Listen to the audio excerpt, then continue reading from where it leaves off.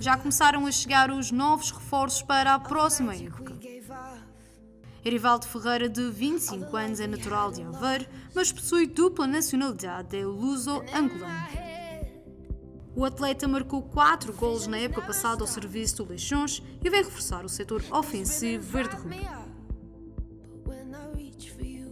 Ainda não consegui, não consegui digerir. Acho que é algo magnífico. Primeiro, pela grandeza do clube e depois porque estou, estou, estou na Primeira Liga e, é, e, sempre foi um sonho meu representar um clube na Primeira Liga e estou muito grato.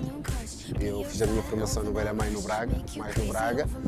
Depois estive, estive no Feirense, estive no estrangeiro, estive, joguei em Angola também, joguei no Aves, estive no Académico de Viseu e no ano passado estive no Leixões. Sim, porque o Marítimo não estamos a falar de um clube da Primeira Liga que, que está costuma lutar por descender. Estamos a falar de um clube de Liga Europa, um clube com, com prestígio. Posso prometer empenho, atitude e trabalho.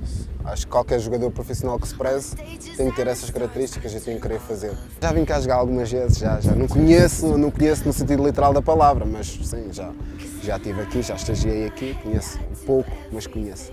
Eu, eu, eu, eu espero, espero que as coisas nos corram de feição Espero que nós, juntamente com, com, com os adeptos, consigamos fazer uma grande época a todos os níveis é? e, que, e pronto, e trazer, e trazer o mais possível adeptos ao estádio, isso é sempre bom sinal, é sinal que estamos bem e sinal que estamos a jogar muito bem.